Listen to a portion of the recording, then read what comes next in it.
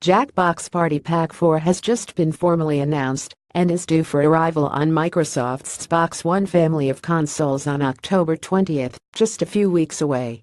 This latest entry in the Jackbox Party Pack series will come with five party games Fibbage 3, Survive the Internet, Monster Seeking Monster, Bracketeering, and Civic Doodle.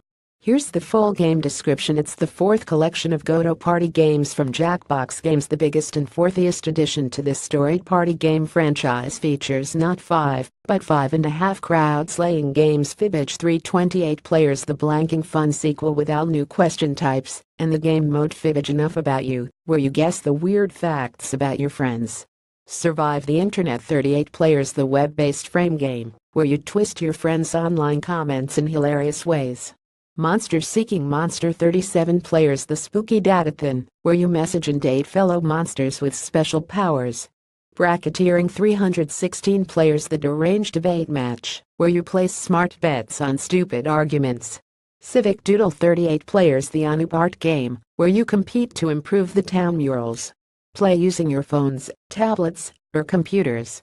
No extra controllers needed plus even more features just for streamers. Are you excited for more Jackbox games to play with your friends, family, or viewers? Let us know in the comments below. Tweet this Facebook share share on Reddit post to Pinterest further reading Microsoft, video games, Xbox, Xbox One.